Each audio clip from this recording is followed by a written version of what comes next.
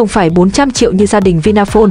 Cộng đồng Playtogether Việt Nam sẽ tặng tất cả các bạn vào tài khoản 500 kim cương ngay lập tức khi kênh YouTube của chúng ta cán cột mốc 100.000 lượt đăng ký. Cùng nhau đăng ký kênh YouTube của cộng đồng Playtogether Việt Nam nhé.